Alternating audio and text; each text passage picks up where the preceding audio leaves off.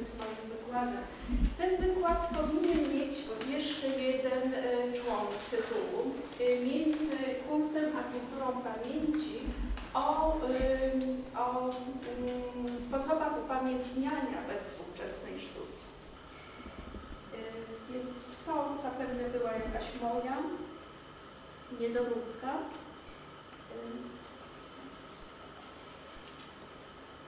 Tak miało być przyjemnie w latach 80., ko- przy końcu lat 80., na przełomie lat 80., 90., kiedy w Europie Środkowo-Wschodniej dochodziło do różnych y, procesów transformacji, wydawało się, że czeka nas nowy, wspaniały świat.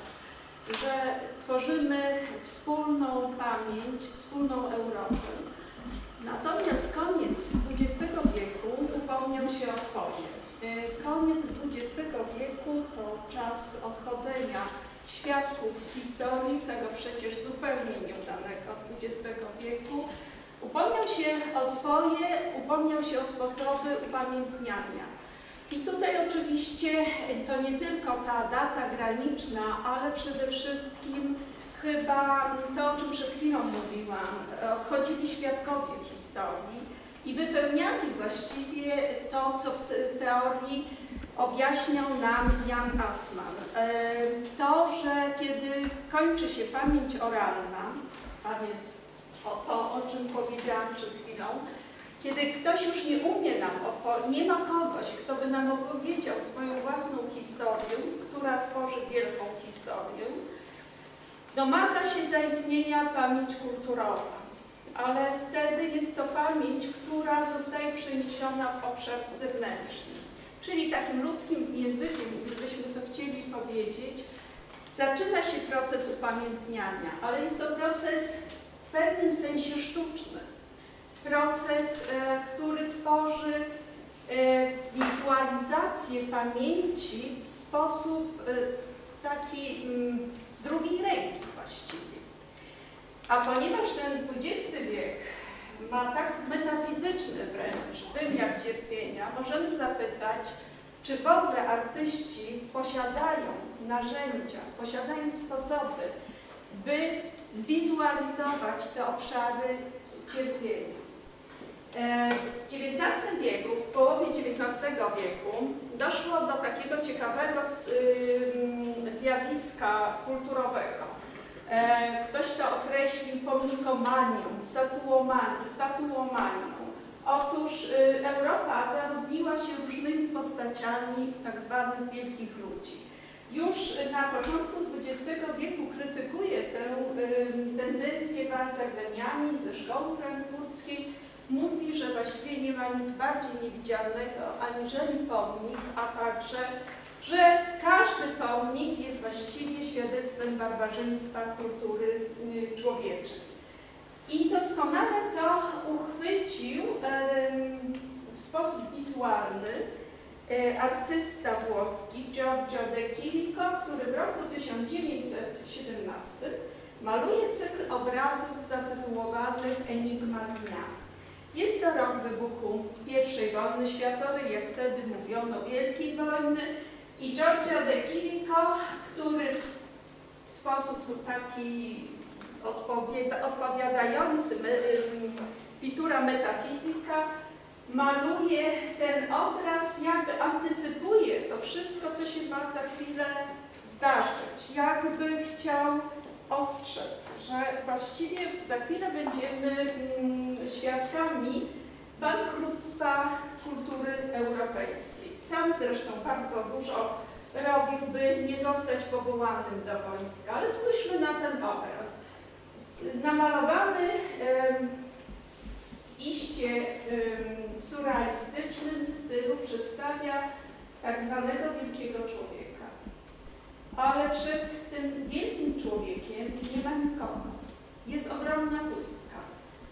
Gdzieś tam w oddali widzimy sylwetki ludzi, które, którzy są prawdopodobnie niezainteresowani tą statuą i e, nawet się do niej nie zbliżą.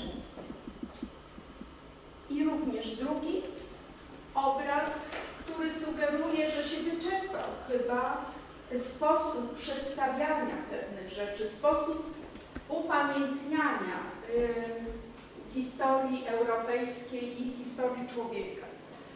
E, XX wiek e, y, to dla y, artystów e, także konflikt wewnętrzny, jeśli chodzi o upamiętnianie, bowiem, Wielu artystów, do nich na przykład należy Magdalena Abakanowicz, Krzysztof Bogiczko, żeby tylko wspomnieć polskich artystów, e, jak, e, jak e, relacjonują, kiedy mają do czynienia z zamówieniem na jakąś realizację stałą, wciąż mają wrażenie konfliktu wewnętrznego, ponieważ zastanawiają się, czy ten świat, z którego uczyniliśmy przecież śmietnik, jeszcze potrzebuje jeszcze jednej e, realizacji stałej i e, często e, właśnie odchodzą od tych realizacji stałych. Za chwilę, proszę Państwa, pokażę pomnik, który jest największym bodajże i najdroższym pomnikiem upamiętniającym, przynajmniej w Europie i który skupia jak w soczewce wszystkie problemy z trudnością upamiętnienia. Upamiętnienia y, y, pamięci zbiorowej, ale też pamięci indywidualnej. Dzisiaj zresztą to słowo pamięć, ono y, pojawia się w każdym dyskursie gospodarczym, humanistycznym, politycznym, E, estetycznym i mówimy nawet, że mamy do czynienia z ogromnym przerostem, jeśli chodzi o mówienie o pamięci zbiorowej. Raczej dzisiaj mówimy o postpamięci i bardziej szukamy nowych form wyrażania pamięci indywidualnej. Ale proszę Państwa, ten wielki pomnik, pomnik pomordowanych Żydów Europy, który e, zajął centralne miejsce Berlina, najdroższy prawdopodobnie, jak wspomniałam, największy zapewne pomnik y, w Europie. E, to historia e, wielu rzeczy. To historia kryzysu, możliwości upamiętniania, to historia przerabiania pamięci z Niemców, to nasze widzenie e, historii europejskiej. E, proszę Państwa, ten pomnik został e, zainicjowana akcja utworzenia tego pomnika, to rok 1998, kiedy to niemiecka dziennikarka Lea Roche stwierdziła, że taki pomnik musi zaistnieć w centrum Berlina, musi być to gigantyczny e, akt ekspiacyjny, i właściwie e, to ona jest pomysłodawczynią tego, tej wielkiej realizacji. Pomnik od razu wzbudzał ogromne kontrowersje, tak wielkie kontrowersje, że e, w 1999 roku, kiedy Bundestag zatwierdził możliwość e, zbudowania tego pomnika, grono intelektualistów, historyków niemieckich oburzyło się, wystosowało protest. Jednym z takich historyków o wielkim autorytecie nie tylko wśród Niemców, ale i Europejczyków Był Richard Koselek, który powiedział, no dobrze, upamiętniamy największe ofiary, te najbardziej znane ofiary, upamiętniamy Holokaust. A co z milionami pomordowanych Polaków? A co z milionami, e, tysiącami może jeńców e, radzieckich, którzy po powrocie do swojej ojczyzny e, mogli się spodziewać tylko śmierci? Część historyków mówiła niemieckich, że to jest właściwie tworzenie sztucznego miejsca pamięci, tworzenie jakiegoś cenotafu, czyli takiego symbolicznego grobowca, w, której nie znajdzie, w którym nie znajdziemy ciała ofiar. Mimo wszystko e, został przeforsowany ten projekt i zaczęła się żmudna praca wyłaniania e, najlepszego projektu. E, Powołano bardzo ciekawą pierwszą komisję, bo były dwie komisje. Wśród, y, tych, wśród jurorów tej pierwszej komisji była Magdalena Bakanowicz. Większość stanowiła, e, y, większość jurorów to byli ludzie związani ze sztuką.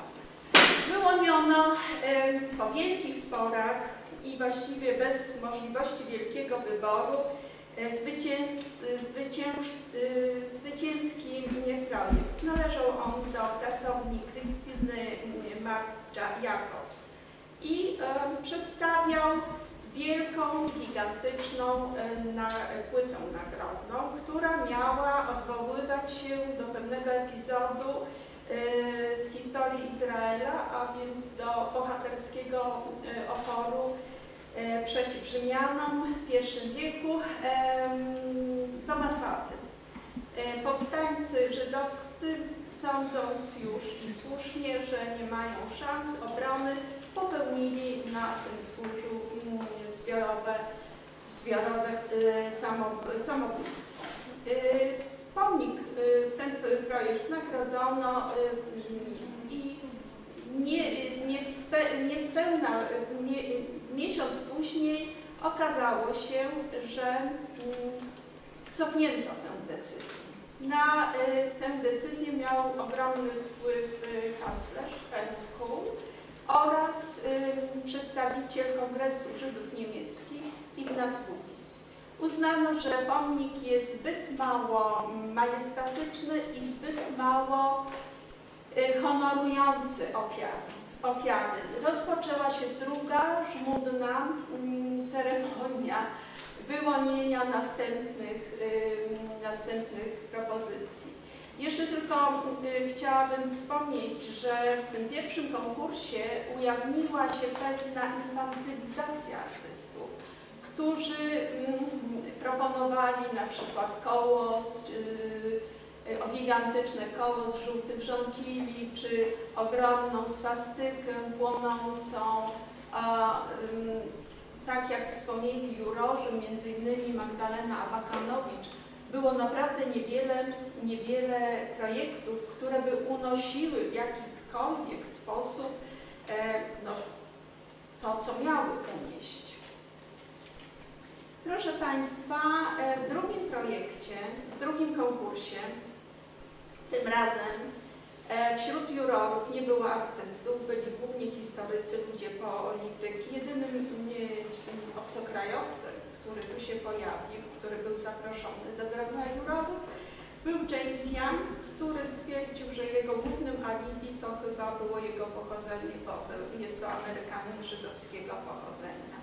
W drugim konkursie wyłoniono jako zwycięski właśnie ten projekt dwóch, mm, dwóch autorów, Petera Eisenmana i Ri- Ri- Ri- Richarda Sera. Drugi to mm, rzeźbiarz, zresztą Richard Sera wy- wycofał się po jakimś czasie, nie akceptując pewnych poprawek. Widzimy tutaj z lotu ptaka y, ten wielki pomnik. Em, Peter Eisenman miał jasną, y, jasną wizję realizacji. Jest to las stel. Y, Tych stel jest 2711, czyli tyle ile stron w Talmudzie. Między stelami są, są takie chodniki, takie przejścia e, wysokości 9,5 metra. Robi to wrażenie ogromnej majestatyczności. E, Wzbudza, przynajmniej w moim przypadku, rodzaj klaustrofobii.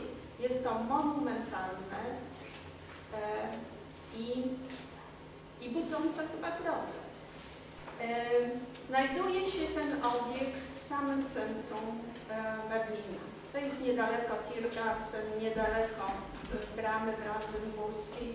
Umieszczenie tego wielkiego obiektu właśnie w tym miejscu ma również wymiar symboliczny, bowiem w czasie III Rzeszy tutaj znajdowały się najważniejsze budynki związane z tym systemem totalitarnym. Kancelaria III Rzeszy, tutaj był bunkier Berlina, y, Hitlera, no ale też główny bunkier dla dostojników em, partyjnych. Ponieważ Berlin był totalnie zburzony, więc e, wokół nie ma mm, tutaj zabudowy historycznej, ale proszę Państwa, tak to wygląda e, w ciągu tygodnia. Podjeżdżają tutaj e, stale autokary e, z turystami różnych, różnych wieku, różnej narodowości. Obok toczy się normalne życie. Niedaleko jest McDonald's, niedaleko jest winiarnia. I właściwie mamy, do, mamy, do czynienia do, y, mamy do czynienia ze zderzeniem pewnego rodzaju sakrum i profanum. E, ponieważ e, mamy do czynienia tutaj z cenotafem, więc należałoby zachować pewne reguły e, zachowania się w tym miejscu, tak? Ale tu przyjeżdżają dzieci, tu siadają na tych stelach, jedzą posiłki z McDonalda. Jest to na pewno jedna, jeden z, z obiektów, który stanowi w dzisiejszym Berlinie wielką atrakcję turystyczną. Właśnie ten aspekt, taki komercyjny, e, jest często krytykowany również przez Niemców. Jak odebrane, odebrali Niemcy tę wielką budowę? Otóż dla niektórych jest to mm, rodzaj niezgody na zło, tak?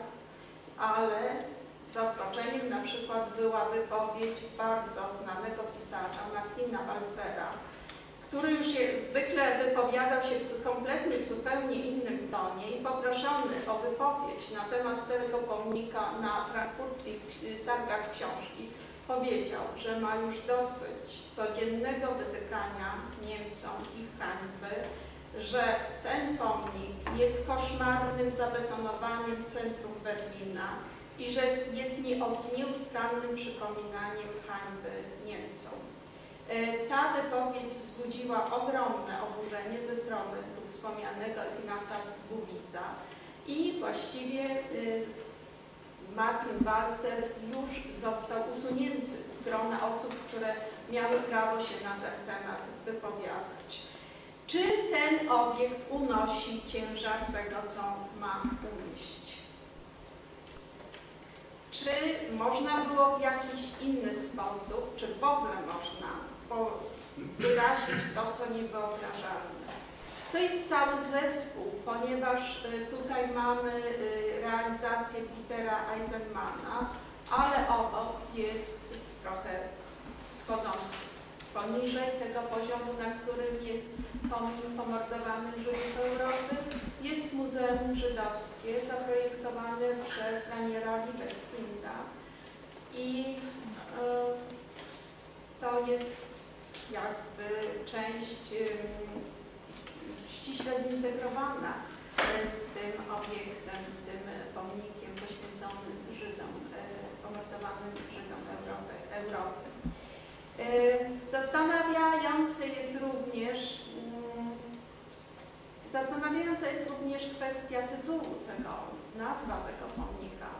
Pomnik pomordowanych Żydów Europy. To jest, jak zauważyła Simon Ma- Mandos, australijska artystka, która osiadła e, w Berlinie. Dosyć nieetyczne posunięcie, bowiem e, tutaj nie ma mowy o sprawcy, nie jest wymieniony sprawca. I takich wiele zastrzeżeń e, ciągle skierowanych jest wobec tego pomnika. Jest to pomnik, który nadał charakter centrum Berlina. Profesor Anna Wolf-Wałęska z, z Instytutu Zachodniego powiedziała, że debata Ignac Bubis, Martin Walser i w ogóle cała debata wokół tego, e, powsta wokół powstania tego pomnika, przypomnę, to się zaczęło w 1998 roku, a pomnik został odsłonięty bodajże w 2005 roku więc długa była to debata, uświadamia Niemcom też problem z pamięcią, problem e, z przerobieniem pamięci i uświadamia też jeszcze ogromne pole do przepracowania. E, Jakie były pomysły, proszę Państwa, w tej, drugim, w tej drugiej odsłonie konkursu mm, na mm, inne projekty? Jak, jak wyglądały inne projekty? Otóż wybrałam tu jeden z takich najbardziej radykalnych, najbardziej chyba e, kuriozalnych projektów.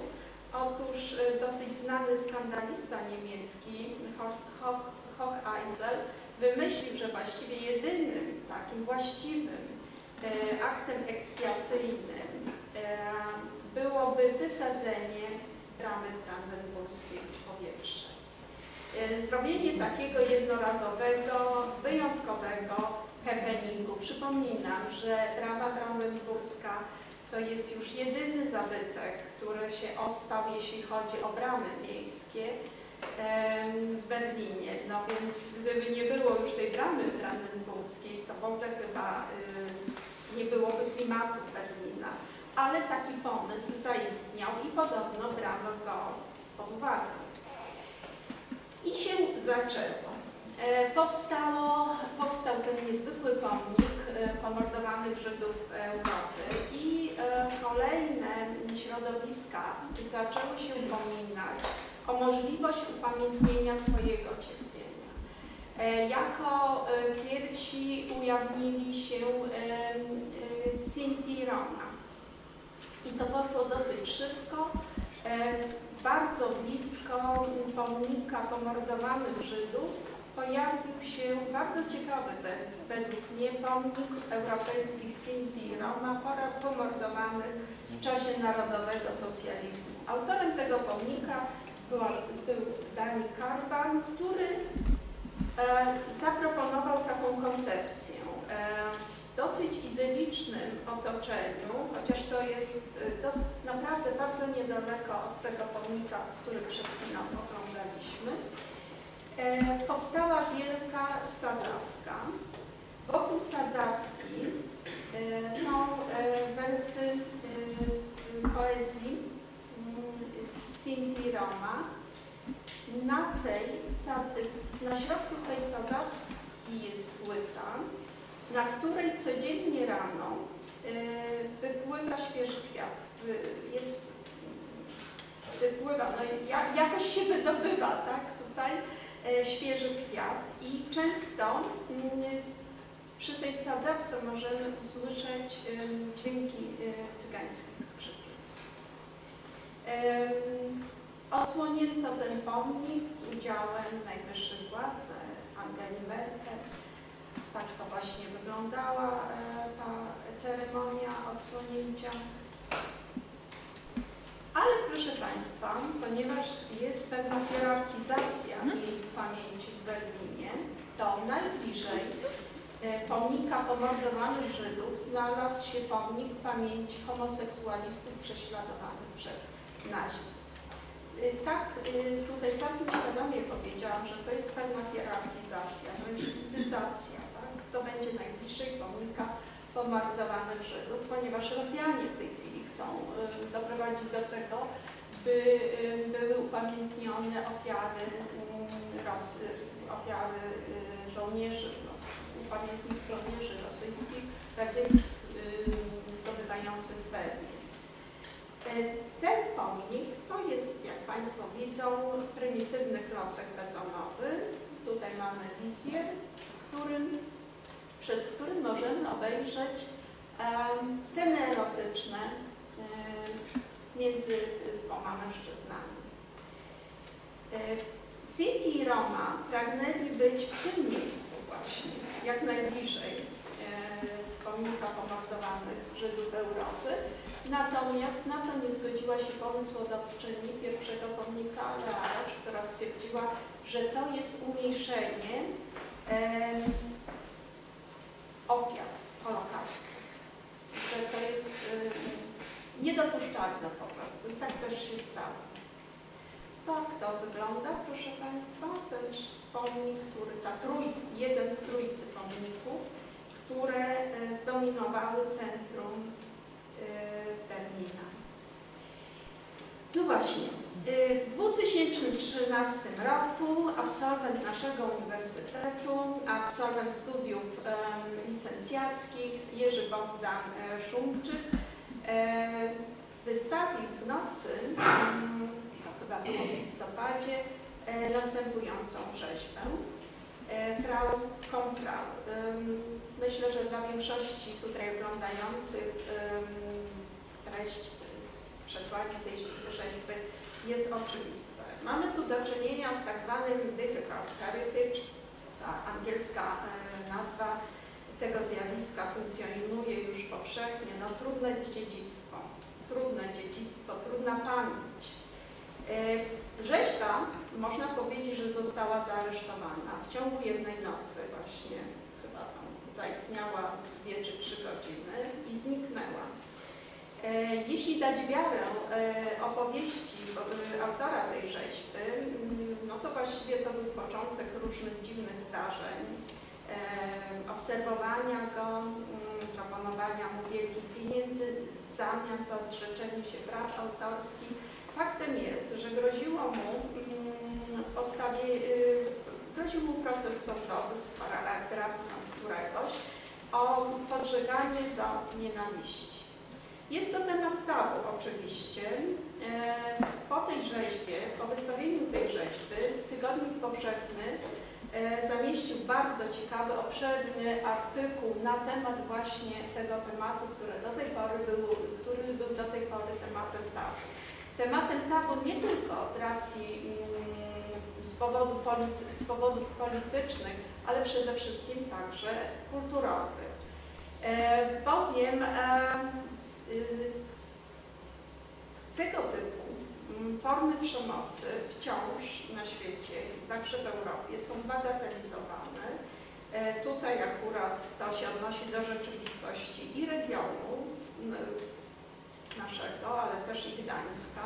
Mówi się zresztą, że mm, w wyniku tych aktów przemocy i tak, tak, tak brutalnych aktów przemocy około 2 milionów kobiet na naszych terenach doświadczyło tej traumy. I nie były to jakieś sporadyczne działania, to nie trwało miesiąc, to trwało miesiące. I e, ofiarami były nie tylko kobiety ciężarne czy kobiety dojrzałe, ale też dziewczynki. I e, w wyniku tych aktów przemocy po prostu niektóre kobiety umierały. E, Bogdan, Jerzy Bogdan Szumczyk stał się mm, bohaterem medialnego szumu. W którejś em, edycji Hali Odlotu poproszono go o wypowiedź i była pewna konsternacja wśród osób pytających, wśród których było dużo też artystów. Pamiętam, że Anna e, Baumgarten powiedziała, że to jest zbyt dosłowne, że to jest zbyt realistyczne, że dlaczego to jest żołnierz radziecki.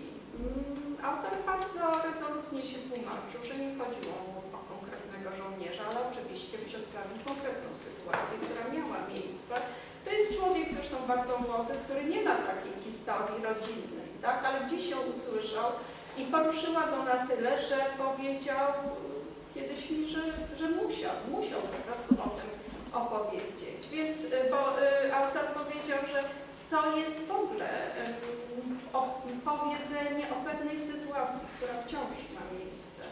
Nieukarane gwałty popełniane na kobietach powodują to, i nieuznanie tego za zbrodnię wojenną powodują to, że w czasie okrutnej wojny na Bałkanach w latach 80. to były działania oczywiste tak, i nigdy nie ukarane. To samo w czasie inwazji rosyjskiej w Gruzji. Y, A jak inaczej można przedstawić y, taką sytuację?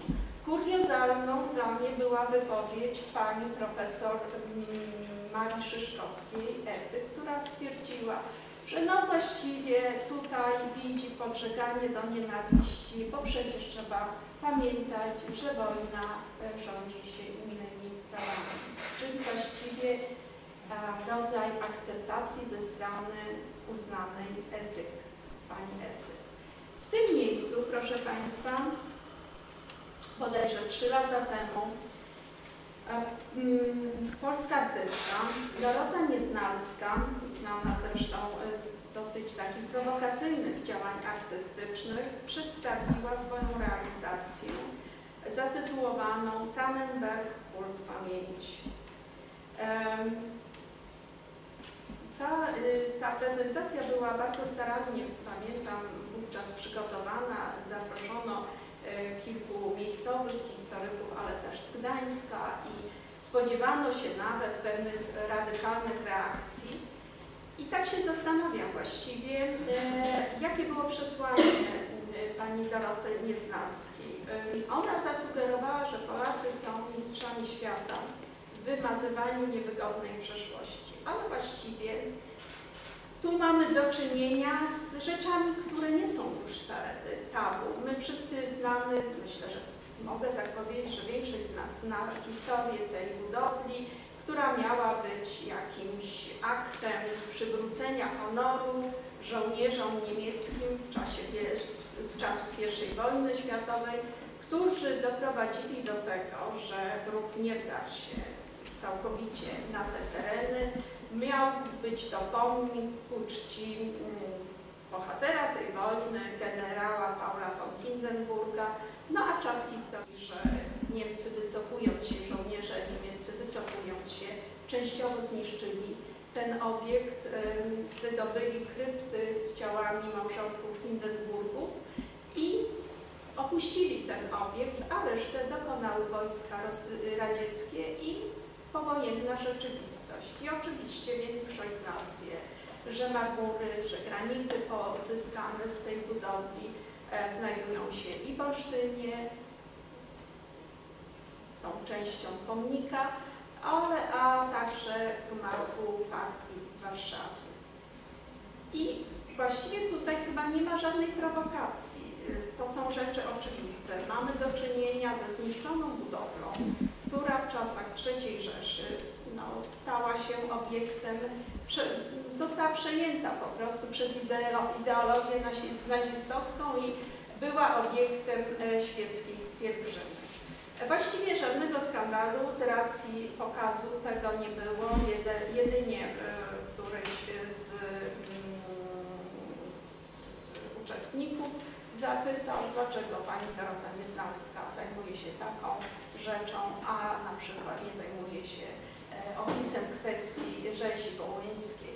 E, Dzięki temu, że artystka była stypendystką DAD, a więc miała możliwości dotarcia do kronik archiwariów, można było zobaczyć e, autentyczne nagrania poboru, wyjścia na, e, na pole bitwy, poboru żołnierzy tu z tych terenów. Może niektórzy od, mogli znaleźć na przykład wizerunki swoich dziadków, przepraszam, czy pradziadków. No więc jak? W takim razie, jeśli nie ma takich mm, od, no, tutaj chciałabym chyba razem z Państwem wspólnie się zastanowić, czy artyści w ogóle mają takie możliwości, mm, y, narzędzia, sposoby, by to wszystko, co mm, nas przeraża w tym odeszłym XX wieku, e, mo- mogli zrealizować, mogli zwizualizować. Czy tutaj ten konflikt e, taki między e, wizualizacją stałą, a, e, a przekonaniem artysty o tym, że już chyba nie ma sensu tworzyć kolejnego pomnika, e, jest do rozwiązania.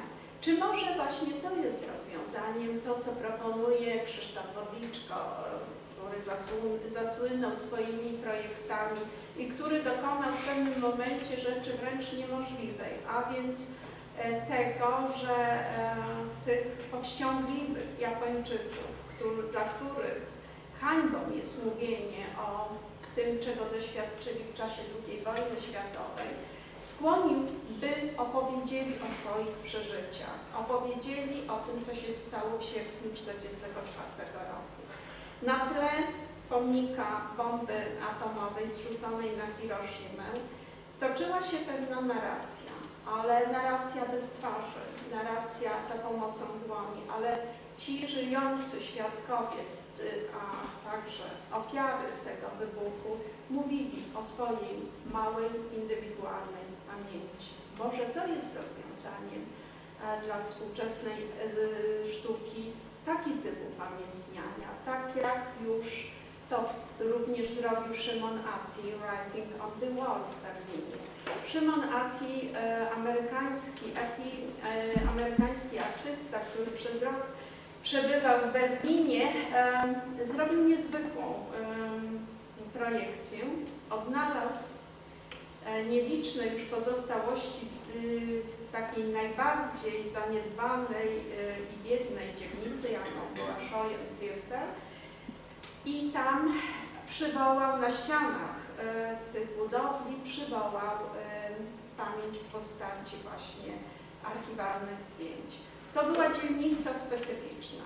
Mm, Pamiętajmy, że Żydzi niemieccy byli bardzo zasymilowanymi e, członkami społeczeństwa niemieckiego, zazwyczaj doskonale wykształconymi i zamożnymi, a tej dzielnicy osiedli Żydzi ze wschodniej Europy. To nie była plutokracja berlińska, to e, byli ci, którzy szukali tutaj podstawowych środków utrzymania.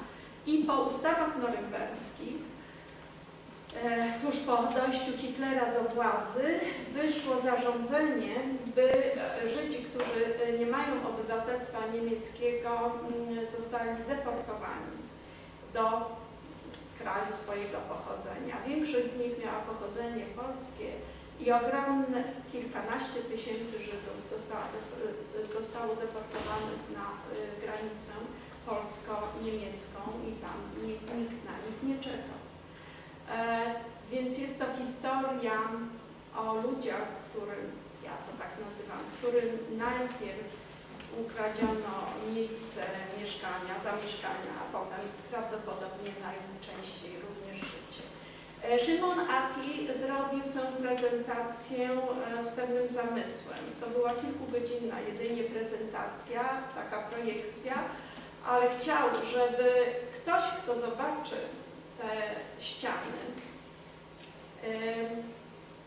wprowadził w swój dysk te obrazy tak głęboko, e, że będąc powtórnie w tym miejscu, będzie szukał intuicyjnie już tych obrazów. Proszę Państwa, e, Zachód i wschód Europy ma trochę inną narrację dotyczącą XX wieku. Simone Weil powiedziała, że Shoah, prezes Simone Weil to francuska prezes Fundacji Shoah, powiedziała, że mm, y, Shoah, Holokaust jest y, naszym dziedzictwem, wszystkim, naszym wspólnym dziedzictwem. Natomiast em, to się spotkało z pewną reakcją jednej z europosłanek, łotewskiej minister spraw zagranicznych. Sandra Kalniecie to y, kobieta, która urodziła się na Syberii jako córka zesłańców. E, Mało wiemy o historii tych narodów, y, takich jak Estończycy, może mm, Łotysze, może trochę więcej o- Litwinach. Tam prześladowania były znacznie dłuższe aniżeli w Polsce i właściwie e, do czasów transformacji absolutnie nie można było mówić o tej historii. Więc e, wspomniana tu Sandra Kalniecie no, powiedziała na targach książki w Lipsku w roku 2004, że przez 50 lat historia Europy była pisana bez uwzględniania historii krajów będących w strefie wpływów Radzie, Związku Radzieckiego.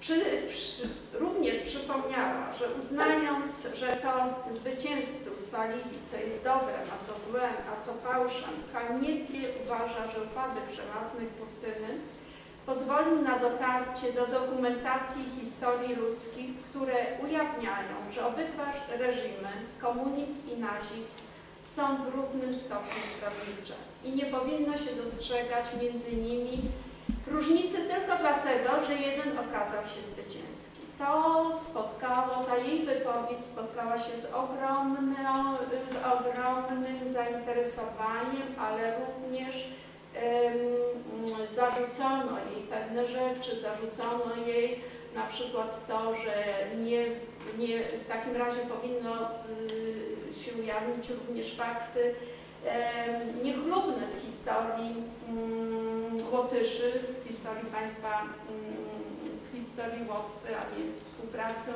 z eksterminacji Żydów, współpracę Łotyszy. Jak, jak została upamiętniona pamięć Łotyszy. W środku, w centrum Rygi stoi rzeźba wagonu, którymi, w których wywożono Łotyszy na Syberię. Czy w takim razie, w tym momencie można by było zapytać, czy uzasadniona jest hierarchizacja cierpienia? Jak wspomniałam, wschodni, wschodnia i środkowa Europa, środkowo-wschodnia ma inną perspektywę widzenia historii. Czy więc możliwa jest empatia dla ofiar innej wspólnoty pamięci i niedzielenia y, na ofiary pierwszej i drugiej kategorii w Zjednoczonej Europie. To jest ogromna praca, to jest ogromna praca z pamięcią zbiorową, ale również y, pamięcią indywidualną. Y, na, na pisarz Jorge Sebrun w mowie wygłoszonej z okazji 60. 60. rocznicy wyzwolenia obozu w Buchenwaldzie wyraził nadzieję, że w ciągu 10 lat historia Gułagu na przykład będzie wspólną europejską pamięcią, a obok książek Primo Levi i Imre Kertesza pojawią się na przykład opowiadania z Kołymy Warłama Szałamowa. W tym momencie też chciałam zapytać, jak Państwo sądzą, w co należy inwestować, mówiąc tak już bardzo skrótowo, w kamień czy w edukację w takim razie? Czy kolejny pomnik, nawet o bardzo nośnej wymowie, jest czymś, co bardziej nas poruszy, aniżeli na przykład przedstawianie małej historii, e, celebrowanie pamięci indywidualnej. Tutaj nie zamieściłam takiego dosyć znanego przykładu, e, a niektórzy go określają jako akt okrucieństwa, mm, czyli Artura Żmijewskiego 80066, tak? kiedy to mamy do czynienia, gdzie mamy do czynienia z zapisem wideo, na którym zarejestrowany jest proces odnowy y, numeru y, obozowego, y, numeru, którego właścicielem jest Józef Tarnawa, bardzo szlachetny starszy pan, posunięty w latach, który nie chce tej czynności na swoim ciele, a która, a, a według mnie pokazuje bardzo e, przekonywująco, że fakt, e, iż ów człowiek nie umie się zdecydowany sposób sprzeciwić tej czynności, jest tą jedną wielką traumą yy, którego, której nigdy nie zrzuci. Wydaje mi się, że ten bardzo kontrowersyjny zapis, powiedziałabym nawet dokument, tak, który, to jest niezwykły sposób budowania wrażliwości społecznej. Chyba bardziej skuteczny niż lekcja historii, a na pewno e, niż pomnik. Chciałam na koniec, żeby tak, tak nie było bardzo poważnie i dramatycznie, przywołać jeszcze przykład um, upamiętniania intymnego upamiętniania bardzo osobistego, e, bardzo, mm, tak jak wspomniałam, no, zupełnie inna kategoria niżeli przywołane tu e, przykłady. E, Proszę Państwa, niezwykła rzeźba, rzeźba mająca mm, 90 bodajże metrów, e, zbudowana, zrealizowana z marmuru i stali, rzeźba, która zaistniała też w postaci sześciu odlewów z brązu. I tutaj, proszę Państwa, przepraszam Państwa bardzo, bo widocznie nie ta wersja prezentacji się tutaj pojawiła, bo nie ma tutaj e, ani nazwy tej, e, tego obiektu, ani autorki. Otóż jest to Louise Bourgeois, która mm, pracowała w ostatnich latach swojego życia nad realizacją tej rzeźby i miała być to rzeźba, która jest hołdem dla jej. Artystka bardzo znana, francuska, e, zamieszkała od lat 40. w Stanach Zjednoczonych, złożyła niezwykły hołd swojej matce po wielu, wielu latach. E, Dla niej e, ten e, postać pająka, pajęczycy był symbolem tego, co reprezentowała jej matka. A więc pracowitości, schludności, e, dokładności, czystości. E, Taki niezwykły pomnik stworzyła swojej matce, stworzyła ktoś, kto tworzy taką niezwykłą realizację, E, Mówi też również o sobie, o możliwości wielkiej miłości tak, do drugiej osoby i, i, i umiejętności wyrażenia tej miłości e, w sposób wizualny. E, Tutaj e, ten fragment e, tej wielkiej rzeźby to oczywiście odwłok pajęczycy, która gromadzi mm, w swoim odwłoku jaja. Niezwykła rzecz, niezwykle piękna rzeźba. E, w 2008 roku na otwarcie Tate Modern właśnie ta rzeźba wprowadzała do Tate Modern mm, zwiedzających. E, Również pięknie się prezentuje, to w tej drugiej prezentacji, która powinna się otworzyć, moglibyście Państwo zobaczyć. E, Pięknie się prezentuje na tle e, Muzeum Guggenheimu Bilbao. Chciałam właśnie w ten sposób taki trochę łagodniejszy zakończyć ten mój wykład dotyczący właśnie sposobu upamiętniania we współczesnej sztuce. E, wniosek jest taki e, i mam nadzieję, że to e, starałam się Państwu w czytelny sposób przedstawić, że jest ogromnie trudno wizualizować pamięć. Szczególnie pamięć dotyczącą tego odeszłego, a jednak rzutującego na nasze życie XX wieku. Dziękuję Państwu bardzo.